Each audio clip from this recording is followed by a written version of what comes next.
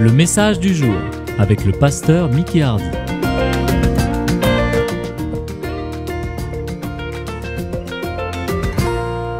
Un homme peut-il avoir un cœur selon Dieu? Une femme peut-elle avoir un cœur selon le cœur de Dieu? Est-il possible, nous les êtres humains, avec toutes nos faiblesses, nos manquements, nos luttes, nos combats, est-ce qu'on peut avoir un cœur qui est selon le cœur du Seigneur? Où les gens peuvent ressentir le cœur du Seigneur à travers nous, nos paroles, nos actions,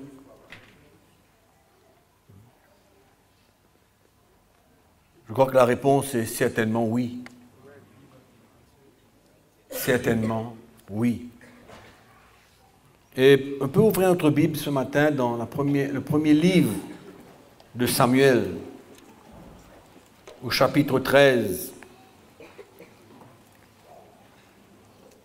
où le règne, le règne de Saül va se terminer et où Dieu va choisir un homme selon son cœur. Au chapitre 13, voyons la désobéissance de Saül qui l'a coûté cher. Samuel l'avait ordonné de faire certaines choses, il attend sa venue, mais Saül a cru bon de faire des choses selon lui. Et au verset 13, Samuel dit à Saül, tu as agi en insensé. Tu n'as pas observé le commandement que l'Éternel, ton Dieu, t'avait donné. L'Éternel aurait affermi pour toujours ton règne sur Israël. Et maintenant ton règne ne durera point. L'Éternel s'est choisi un homme selon son cœur. L'Éternel l'a destiné à être le chef de son peuple. Amen. Donc nous voyons que Dieu va donner à David un cœur selon son cœur. Afin que David puisse le servir, le représenter, l'obéir et faire toute la volonté de Dieu. C'est pourquoi le Seigneur veut nous donner un cœur qui est selon lui, pour le représenter, pour parler de sa part, pour agir de sa part. Et que tout le monde puisse ressentir que nous sommes des humains limités dans nos forces, nos pensées, mais que Dieu peut changer le cœur d'un homme ou d'une femme et lui donner un cœur selon son cœur. C'est ça la beauté de la chrétienté. Qui n'est pas juste une foi, une croyance, comme beaucoup de religions, une croyance. C'est vrai que nous avons la foi en Christ, le Fils de Dieu, la foi en ce qu'il a accompli pour nous.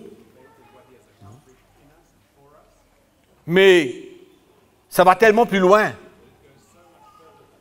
Dieu veut nous donner son cœur, un cœur selon lui, pour le servir là où nous sommes, là où nous allons, et le représenter. Dans le chapitre 16 de ce même livre, nous lisons le, chapitre, verset 6. Lorsqu'ils entrèrent, il se dit, en voyant Eliab,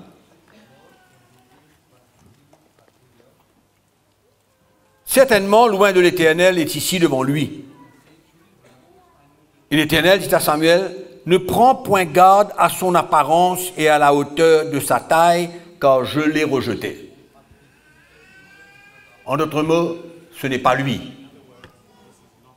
Ce n'est pas le premier qui se présente devant toi, ni le plus grand, mais c'est celui que moi j'ai choisi, que l'Éternel lui dit. L'Éternel ne considère pas ce que l'homme considère. Mes frères et sœurs, vous réalisez la grâce que nous avons? L'Éternel ne regarde pas à ce que l'homme considère. Si l'homme avait à choisir qui serait des enfants de Dieu, qui le servirait, qui il aurait mis à part, ce serait une vraie catastrophe. Parce qu'il ne saurait pas ensuite comment l'équiper. Mais le choix de Dieu est extraordinaire. Dites à votre voisin, Dieu m'a choisi. Hein? Réalisez un petit coup, mes frères et sœurs? C'est Dieu qui nous a choisis. Vous avez voulu Dieu, vous? Personne n'a voulu Dieu. Personne ne l'a cherché, je ne sais trop où. Mais il est venu vers nous. Et Dieu ne considère pas ce que l'homme considère. Alléluia. L'homme regarde à ce qui frappe les yeux. Combien d'entre vous ont regardé certains chrétiens et ont dit, mais qu'est-ce que Dieu peut faire avec ça? Hein? Qu'est-ce que Dieu peut faire avec une telle personne?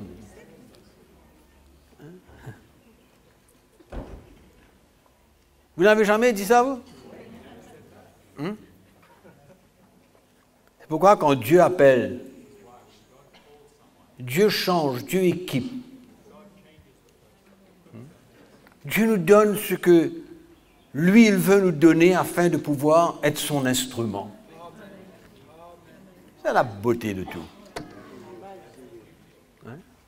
Pourquoi il n'y a, pas de, de riches, il n'y a pas de pauvres, hein? il n'y a pas d'intelligents, il n'y a pas des hommes moins intelligents.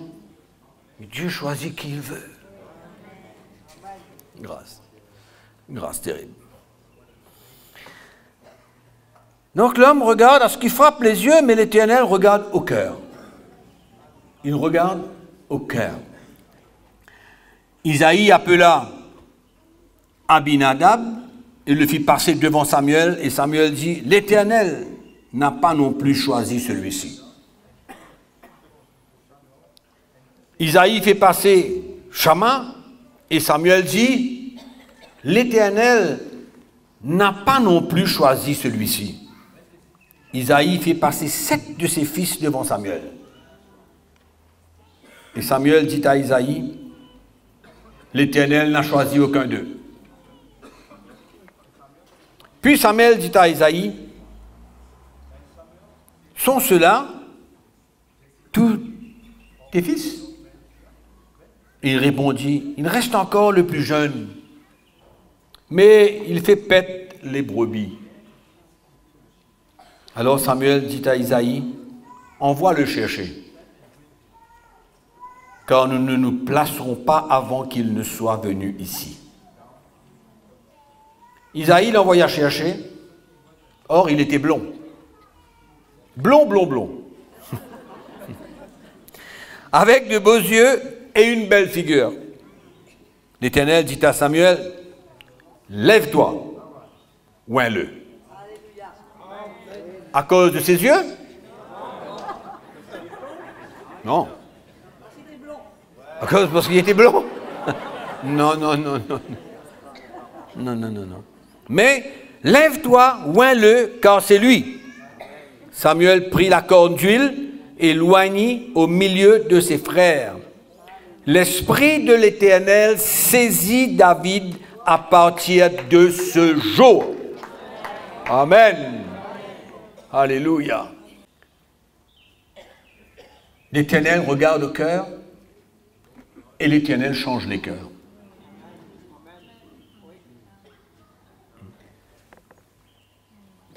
Comment est-ce que David a démontré qu'il avait le cœur selon Dieu? Il l'a bien démontré. Hmm?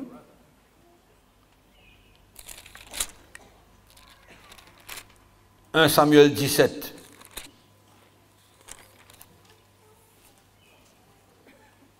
Verset 25. Nous connaissons tous l'histoire de, David et Goliath. Hein? L'histoire de David et Goliath. Alors nous allons lire à partir du verset 25. Chacun disait, avez-vous vu s'avancer cet homme, en parlant de Goliath, ce monstre géant. C'est pour jeter à Israël un défi qu'il s'est avancé. Si quelqu'un le tue, le roi le comblera de richesses, lui donnera sa fille, et il affranchira la maison de son père en Israël.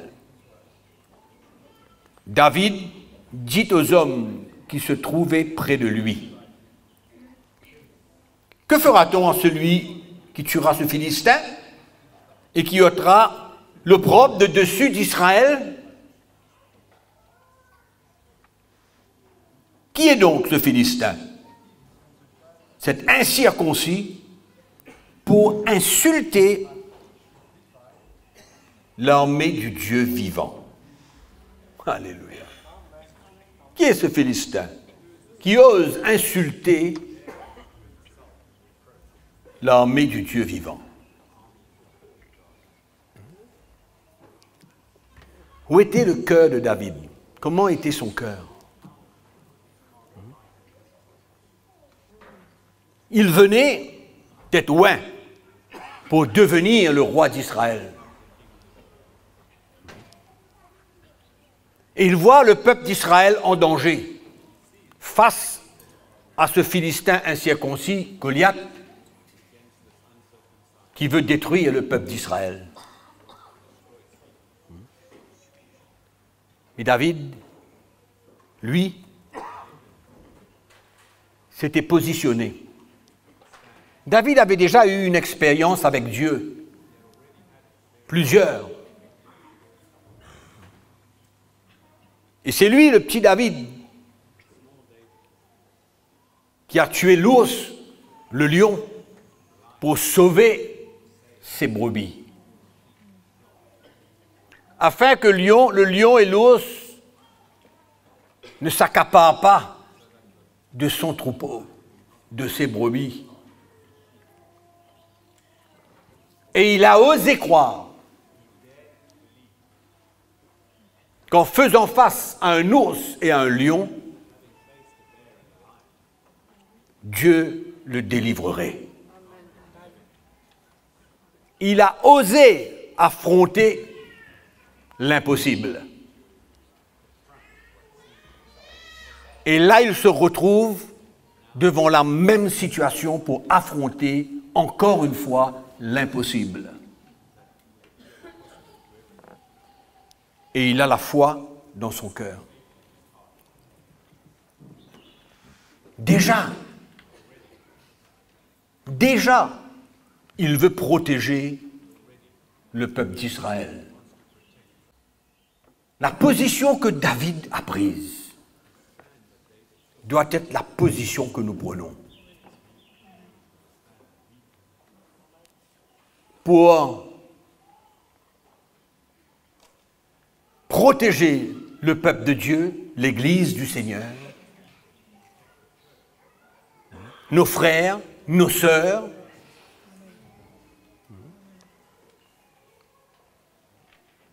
être osé dans des circonstances difficiles,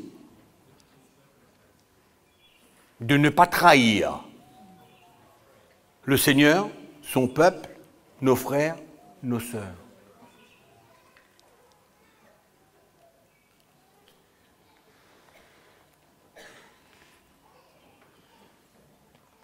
Et mes frères et sœurs, nous avons besoin d'être unis et un. Vous savez, dans l'Église, il y a tellement de situations qui se présentent. Il y a souvent des frères, des sœurs qui vivent une vie désordonnée. Et quelle position doit-on prendre aujourd'hui? Nous, le peuple de Dieu. C'est pourquoi souvent on peut rentrer dans les relations émotionnelles. Dans les relations émotionnelles. David, en plusieurs situations, s'est retrouvé dedans. Vous savez que Saül a voulu le tuer en plusieurs fois et en deux occasions, il n'a pas voulu mettre la main sur loin de l'Éternel.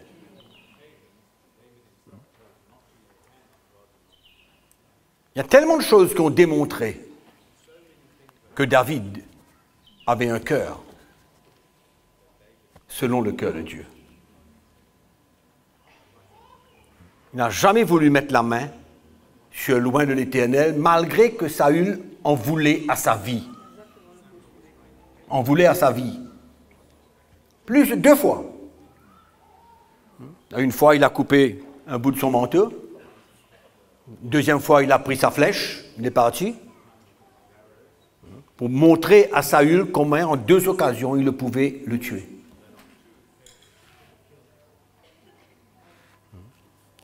Mais David n'a pas voulu mettre la main sur loin de l'Éternel.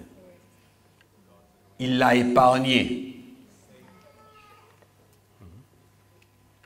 Nous avons besoin de prendre souvent des positions dans l'esprit et de savoir qu'est-ce que Dieu veut. Quel est le cœur de Dieu dans des situations? Quel est son cœur? Et d'agir, non pas dans les émotions, non pas pour aucune autre raison, mais d'établir quel est le cœur du Seigneur et qu'est-ce que Dieu veut dans la situation? Et c'est ce que David a fait en plusieurs reprises. Et dans le livre des Actes au chapitre 13, quand Paul parle de David, il répète exactement ce que Dieu a dit concernant David. C'est un homme selon son cœur qui accomplit toute sa volonté. Toute la volonté de Dieu. En d'autres mots, tout ce que Dieu veut. David a accompli ce que Dieu a voulu. Il a pu pécher, il a pu tomber, mais Dieu a vu son cœur. David avait compris beaucoup de choses. Dieu l'avait éclairé et il avait compris beaucoup de choses afin de manifester le cœur du Seigneur. Même dans le psaume 51, Peut-être qu'on peut regarder dans le psaume 51. Quel a été, qu'est-ce que David avait compris? Où il voulait emmener le peuple de Dieu à faire la volonté de Dieu. Dans le psaume 51,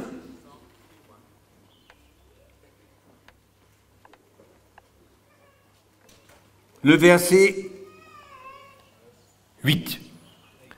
Mais tu veux que la vérité soit au fond du cœur. Fais donc pénétrer la sagesse au-dedans de moi, purifie-moi avec l'hysope, et je serai pur. Lave-moi et je serai plus blanc que la neige. Annonce-moi l'allégresse et la joie, et les eaux que tu as brisées se réjouiront. Détourne ton regard de mes péchés, efface toutes mes iniquités. Ô Dieu, crée en moi un cœur pur, renouvelle en moi un esprit bien disposé, ne me rejette pas loin de ta face, ne me retire pas ton Esprit Saint. David s'était repenti. Il avait mis son cœur droit devant le Seigneur. Et suite à cela, Dieu va l'éclairer.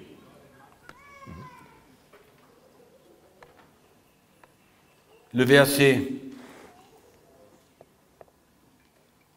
18. Si tu avais voulu des sacrifices, je t'en aurais offert. Si tu avais voulu des sacrifices, je t'en aurais offert. Vous réalisez ce que, Dieu, avait montré à David concernant la vraie relation qu'il devait avoir avec Dieu?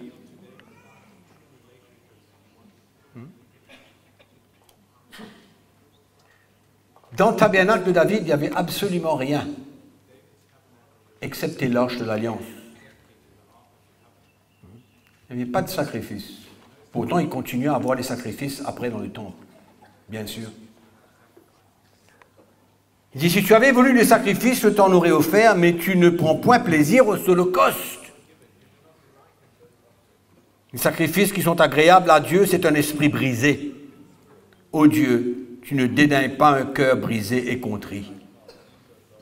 Amen. À cette époque, David avait compris le genre de relation que Dieu voulait avec son peuple. Un cœur que beaucoup n'avaient pas dans ce temps. Il avait découvert et Dieu l'avait emmené à voir. Depuis le début, quel était le cœur qu'il devait porter? Quel genre de relation qu'il devait avoir avec Dieu? Comment est-ce qu'il allait servir Dieu? Quel devait être son cœur envers Dieu? Vous savez, on peut avoir des responsabilités aujourd'hui, faire le travail de Dieu. Mais comment faire le travail de Dieu? Comment? Dans quelle attitude de cœur? Dans quel esprit on est appelé pour servir le Seigneur? David avait compris. C'est extraordinaire ce qu'il avait compris. Avant même de construire le temple, et que Salomon devait construire le temple. Qu'est-ce que David avait compris concernant le cœur de ce peuple d'Israël qui avait besoin de porter leur offrande pour pouvoir bâtir le temple?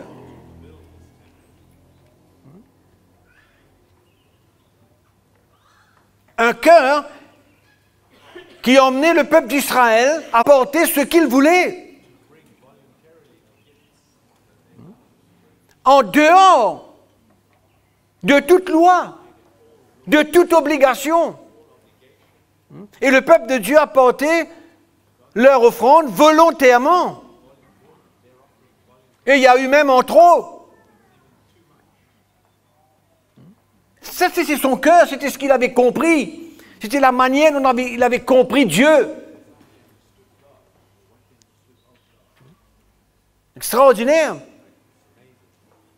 C'est pourquoi, dans le livre des Actes, c'est marqué le rétablissement de la tente de David. Ce n'était pas seulement ce qu'il faisait, ce n'était pas seulement ce qu'il, ce qu'il disait, comment fallait faire les choses, mais c'était son cœur. Dans sa relation avec Dieu, quel genre de relation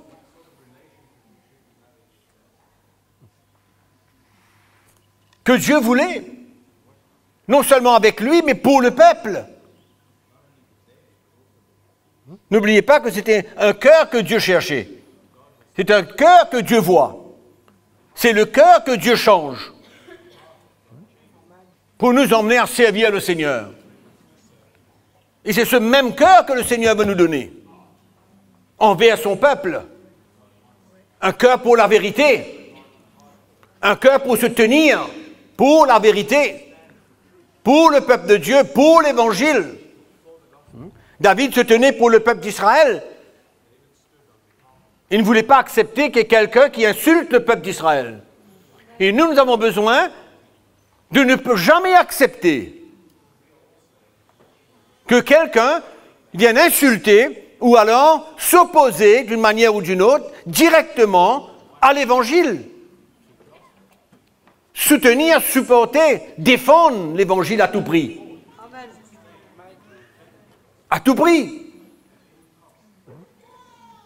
David, avant même d'être roi, il défendait les brebis. C'était tout pour lui. Il était prêt à donner sa vie pour ça. Affronter un lion, affronter un ours, pour sauver les brebis.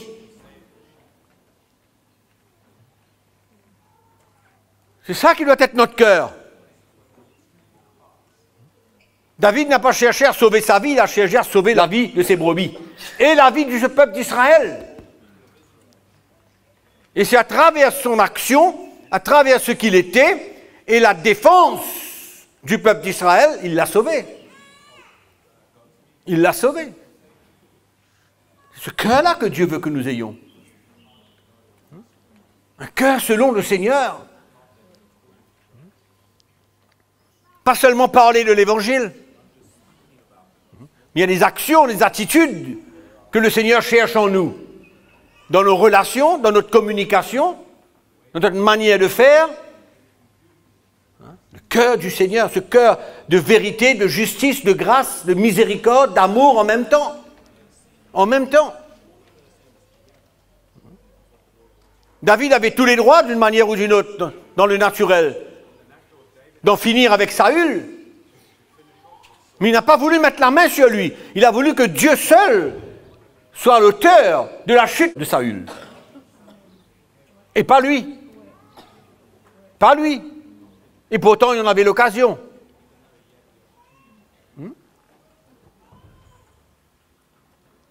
Et nous de même, on doit tout remettre au Seigneur. Tout remettre au Seigneur défendre l'évangile et remettre tout au Seigneur.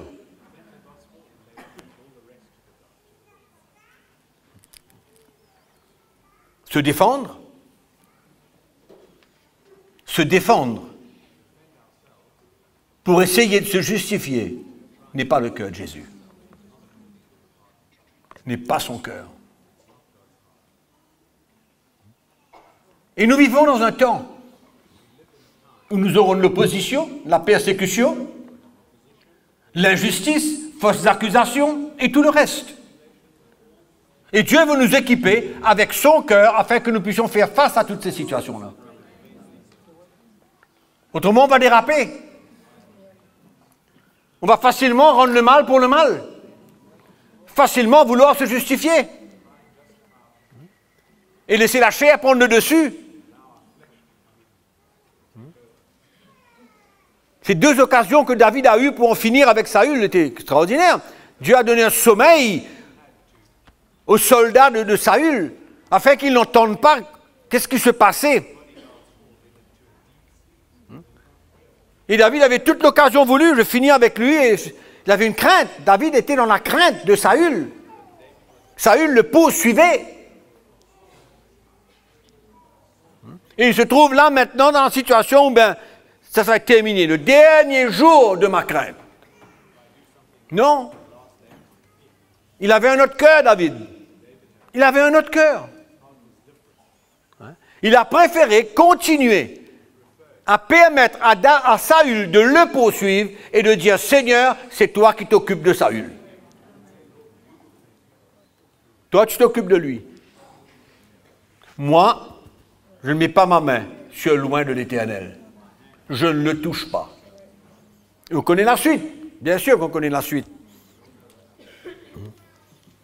Dieu s'est occupé de Saül. Amen. Il y a toutes sortes de situations dans la vie, mes frères et sœurs, où on a besoin de porter le cœur de Jésus.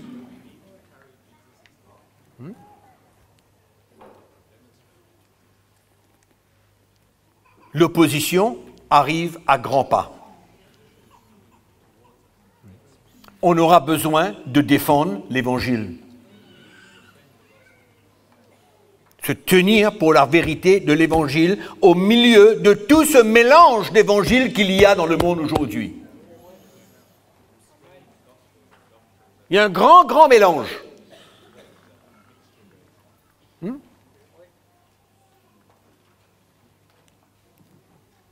Et on a besoin de prendre notre position. Pour l'évangile. Et continuer à parler la vérité. Amen. Continue à parler la vérité, en toute occasion, toutes circonstances. Demeurez ferme. Si l'Église, aujourd'hui, n'avait pas demeuré ferme dans l'Évangile, on n'aurait pas vu les portes s'ouvrir comme elles s'ouvrent maintenant pour que, ce soit les pasteurs et les chrétiens entendent la vérité du message de Jésus-Christ, le message de la croix de Christ.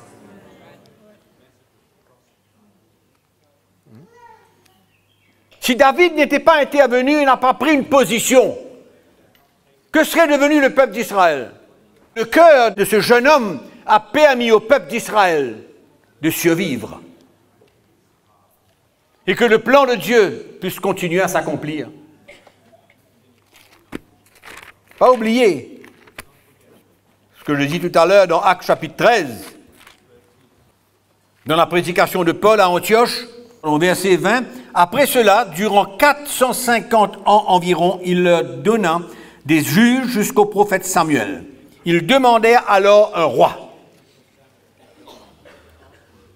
Et Dieu leur donna pendant 40 ans Saül, fils de Kis, de la tribu de Benjamin. Puis, l'ayant rejeté, il leur suscita pour roi David, auquel il a rendu ce témoignage, J'ai trouvé David, fils d'Isaïe, homme selon mon cœur, qui accomplira toutes mes volontés. Voilà. Qui accomplira toutes mes volontés. On veut transporter le cœur de Dieu. Il faut pouvoir et être prêt à travailler avec lui pour que sa volonté s'accomplisse. Dans notre vie, dans l'Église, dans les nations, dans notre pays, travailler avec Dieu. Alléluia. Il faudra des gens, des hommes, des femmes qui sont prêts. Ah oui, qui sont prêts à payer le prix pour accomplir la volonté de Dieu. On n'accomplit pas la volonté de Dieu toujours dans des, circonstances et des situations absolument extraordinaires.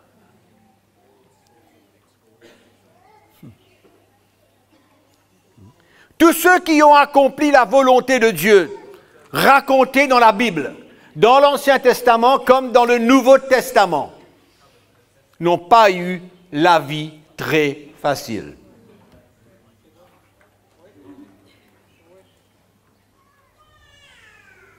Ils n'ont pas eu la vie très facile. Non. Je répète et je dis encore, ce n'est pas facile d'être dans la volonté de Dieu et de faire la volonté de Dieu. Mais Dieu est avec nous, comme il a été avec David. Alléluia. Et David a accompli toutes ses volontés, malgré qu'il a chuté. Il ne faut pas essayer de regarder toutes les faiblesses de l'homme. Dieu prend soin de tous ceux qui veulent le servir. Tous ceux qui sont prêts à le servir et accomplir ses volontés, dans leur faiblesse, leur manquement, Dieu s'occupera. Amen. Je ne parle pas de celui qui prend sa vie entre ses mains et qui veut faire ce qu'il veut de sa vie. Non, je parle de ceux qui sont prêts à travailler avec Dieu pour accomplir sa volonté. Dieu s'occupera. De nos faiblesses, nos manquements, nos, difficultés, il s'occupera de tout. Tout. Comme s'il s'est occupé de David, il s'occupera de nous. Comme il s'est occupé aux grands hommes de Dieu dans la première église, il s'occupera de nous. Comme il s'est occupé de son église, il s'occupera de nous. Amen. Passera par le feu de temps à autre. Amen. Mais la Bible nous dit que le feu ne nous brûlera pas. Ça va quoi. Hein? Ça parle de ces moments difficiles, de ces moments durs, où le Seigneur saura être avec nous, nous relever et nous donner la victoire. C'est ça qui est merveilleux. Hein? Se trouver dans le plan de Dieu, accomplir la volonté de Dieu. dans un esprit contrit, un cœur brisé, hein, un cœur de repentance, un cœur qui admet, un cœur qui ne, qui ne se justifie pas, un cœur qui pardonne, un cœur qui se repent, comme David. Hein? David a eu la grâce d'être éclairé, d'être éclairé concernant Dieu, sa volonté, son plan, ce qu'il désire, ce qu'il aime, au milieu de tout, ce qui était contraire à la manière de faire les choses.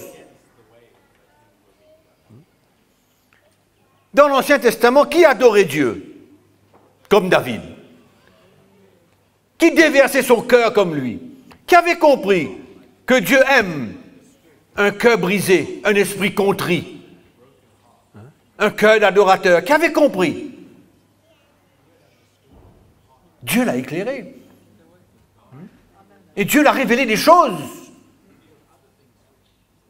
qui sont pour nous l'Église aujourd'hui. Et il avait besoin de vivre au milieu de tout ça. Des sacrifices, des holocaustes et tout le reste, quoi.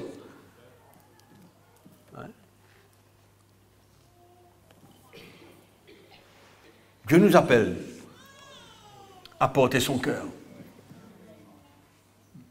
à avoir son cœur. Ce matin, on a adoré le Seigneur. Ce matin, on a déversé notre cœur vers le Seigneur. Hein? Et Dieu veut construire en nous un cœur pour l'adorer. Il veut former en nous un cœur pour comprendre la vraie adoration dans l'esprit. Amen. On brise notre cœur devant le Seigneur, on comprend qui il est pour l'adorer. Et c'est une église qui adore Dieu de tout son cœur, qui va démontrer sa vraie relation avec Dieu. Amen. Quelqu'un qui ne peut pas adorer Dieu, je trouve ça un peu drôle, un peu bizarre. Il ne faudrait pas retourner au temps de la loi, hein, où nous faisons des choses parce que ben, c'est bon. Mais il y a une chose que Dieu nous demande et qu'il cherche. Il l'a dit à cette femme samaritaine. Qu'est-ce que Dieu cherche? Ceux qui l'adorent en esprit et en vérité. Amen. C'est un cœur que Dieu veut nous donner. On est là, on peut écouter la parole de Dieu, on peut recevoir des choses de Dieu, on peut être éclairé par Dieu. Tout cela, ça fait un tout. Mais une des choses que Dieu cherche, c'est un cœur pour l'adorer en esprit et en vérité. On reconnaît qui il est, sa grandeur. Dans les livres de l'Apocalypse, qu'est-ce qu'on voit hein? On voit le plan de Dieu un jour pour nous tous qui allons adorer Dieu de tout notre cœur, hein, par des louanges, des chants d'adoration, chanter louange, gloire, puissance, majesté, honneur, à lui seul, à lui seul la gloire. Amen. Et je crois que, cette Église des derniers temps a besoin de retrouver ce cœur pour adorer Dieu et l'adorer de tout son cœur. Amen. L'adorer de tout son cœur. Parce qu'on peut parler du cœur du Seigneur. On peut parler d'avoir un cœur pour quelqu'un. C'est vrai, c'est bon. C'est extraordinaire, ça fait partie de ce cœur que Dieu veut nous donner.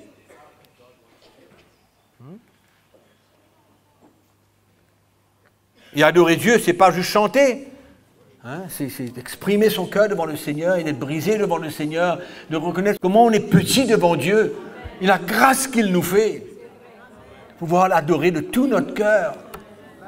Amen. Un cœur selon Dieu. Amen. Donc David a accompli par la suite des grands exploits. Il a pu accomplir toute la volonté de Dieu. Et chacun doit se poser une question ce matin. Accomplir les volontés de Dieu. Il faut son cœur pour pouvoir bien faire. Le Seigneur veut nous retirer, nous enlever de toutes les théories, de toutes les techniques, de toutes les fabrications. Tout. Hein? Toutes ces méthodes, toute cette religiosité en nous. Il nous emmener à, le servir avec son cœur dans toutes circonstances, dans toute situation. Hmm? Le cœur de Dieu. Quand on vient porter notre offrande, où est le cœur de Dieu? Est-ce qu'on a vraiment le cœur selon Dieu quand on vient porter notre offrande Ou bien on fait un geste, un geste religieux, parce qu'on sait qu'on a besoin de faire? Non?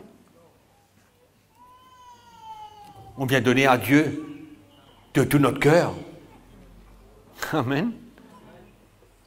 La libéralité, j'ai mentionné ça tout à l'heure. C'est ça le cœur de Dieu. David n'a jamais mis aucune pression sur personne pour construire ce temple.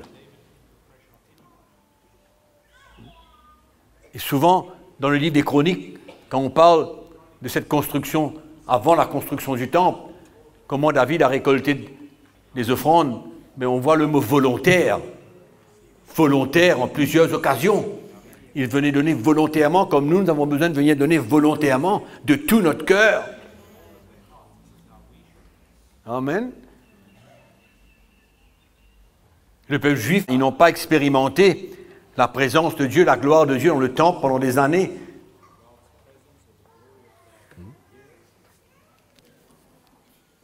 Et quand on leur a demandé de construire le temple de nouveau, ils n'ont pas hésité hein, à porter tout ce qu'ils avaient. Et il y avait en trop. On parle d'un cœur. On parle d'un cœur selon le cœur de Dieu. Et pour quelle raison nous, nous portons notre offrande au Seigneur? Eux, ils avaient un but. Quel est notre but? Quel est notre but De porter notre offrande de tout notre cœur, dans la libéralité, volontairement? Quel est notre but? Quel cœur que nous avons? Qu'est-ce qui nous anime là? Construire, construire le royaume, le royaume de Dieu. C'est ça qui doit animer notre cœur, d'avoir le cœur du Seigneur dans le service de Dieu, c'est de construire le royaume.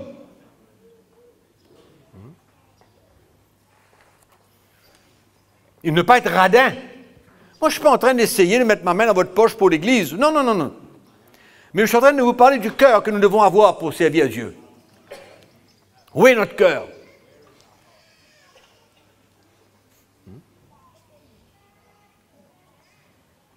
C'est extraordinaire comment le peuple d'Israël, volontairement, s'est presque dépouillé de tout pour construire le temple. Incroyable. Quel cœur Le cœur. Comment on peut servir le Seigneur aujourd'hui si on n'a pas un cœur qui peut se briser devant le Seigneur, qui veut reconnaître la grandeur de Dieu? Un cœur qui veut, qui peut se repentir, qui veut mettre de l'ordre, qui veut pardonner, qui veut relâcher. Où est notre cœur? Jésus l'a fait librement. Il a pardonné. Il ne s'est pas justifié. Il n'avait jamais à se repentir parce qu'il n'a rien fait de mal. Mais c'est son cœur qu'on a besoin. Et Dieu a, formé ce cœur pour David. Il lui a donné un cœur selon son cœur. Et Dieu fait faire la même chose avec nous. Et nous avons l'Esprit de Dieu en nous pour pouvoir faire ce travail que Dieu veut pour nous emmener à transporter ce cœur du Seigneur. Les théories, les techniques, les méthodes, on en voit partout. Porter l'évangile, encourager les gens, tout faire avec un cœur, le cœur du Seigneur. Autrement, tout est théorique. Et ça ne produit rien dans le cœur de l'homme. Donc alors, qu'est-ce que le Seigneur veut Nous enlever toute forme de religion, de méthode, de technique, de principe et de tout ça? Enlever tout. Et nous donner un cœur qui vit, avec l'Esprit de Dieu en nous, qui nous conduit, qui nous emmène à nous plier, qui nous emmène à se repentir, qui nous emmène à pardonner, à nous humilier, à être brisés devant le Seigneur, à porter notre offrande, à avoir un cœur pour l'Église. Ça, c'est le cœur du Seigneur. Être généreux. Hmm? Être de plus en plus généreux. Pour l'Église, pour le royaume de Dieu. Alléluia. Hein? Se tenir pour l'Évangile. Ne pas compromettre. Ne pas vivre dans des relations émotionnelles. Construire des relations dans l'esprit. C'est ça le cœur du Seigneur. Hein?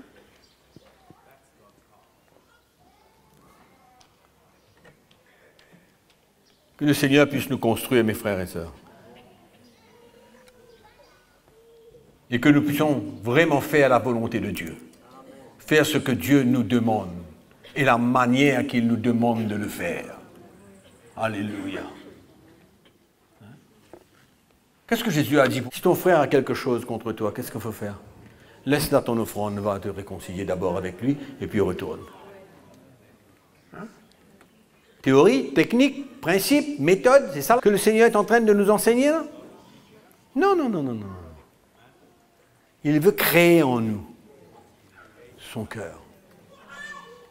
Pour que nous puissions librement, volontairement, dans l'humilité, faire ce que Dieu nous demande, faire sa volonté, accomplir toutes les volontés de Dieu pour notre vie. Amen. Pourquoi l'Église doit être reconnue pour porter le cœur de Dieu? Pour porter le cœur du Seigneur. Le reste, c'est une construction sans aucune valeur. Amen. Et souvent, on peut prendre soin des gens, les pasteurs X, Y, Z, nous, qu'importe, on peut prendre soin des gens d'une manière tellement théorique hein, qu'on n'arrive pas à transmettre le cœur du Seigneur.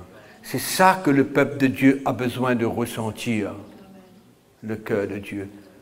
La nouvelle alliance, c'est autre chose, c'est pas la même que l'ancienne. Dans la nouvelle alliance, ce que Dieu cherche, c'est un cœur brisé, que David avait compris. Amen. Et c'est comme ça qu'on doit servir le Seigneur, dans l'humilité de cœur. Amen prêt à accomplir le plan et la volonté de Dieu en toute occasion. Et Dieu cherche des hommes comme ça. Il cherche des femmes comme ça. Et si on se met disponible à Dieu, il peut créer en nous, former en nous ce cœur qui est selon lui, pour le servir Amen. Et on va arrêter de détruire, de tuer le peuple de Dieu et les enfants de Dieu. Mais on va construire la vie du peuple de Dieu. Tout dépend de ce que nous transportons dans notre cœur. Amen. Vous êtes prêts? Et Dieu a besoin de continuer son œuvre pour nous emmener là. Dieu veut investir en nous, que nous soyons des porteurs de sa grâce. Hein, et d'enlever tout ce légalisme qu'il peut y avoir en nous. Le légalisme, ce n'est pas le cœur de Dieu. Sous l'ancienne alliance, c'est la liberté. Hein, c'est la grâce. C'est de servir Dieu. Ils ont besoin de transmettre cela. Personne n'a besoin de personne qui viennent avec toutes les lois et toutes les obligations pour lui montrer comment vivre la vie chrétienne. Amen. Ça ne marche pas comme ça. Moi, j'aime toujours le cœur de Jésus. Une de mes exemples favoris, c'est le cœur que Jésus avait pour cette femme adultère. Ça, c'est extraordinaire. Tout était contre elle. Mais pour la première fois, peut-être qu'elle a ressenti le cœur de Dieu à travers Jésus. Première fois de sa vie. Sous condamnation, à toutes ses blessures, dans la souffrance. Première fois qu'elle a ressenti un cœur pour elle. Un cœur qui l'aimait un cœur qui voulait le meilleur pour elle. Et cette femme est repartie totalement transformée. Amen. Et on peut servir Dieu avec le cœur du Seigneur. Amen. Donc je veux vous encourager ce matin que notre service pour Dieu devienne de plus en plus efficace. De plus en plus efficace. Et ça, c'est le cœur du Seigneur qui se manifeste de plus en plus dans nos vies. Amen. On va remercier le Seigneur ce matin. Merci de nous avoir suivis. À bientôt.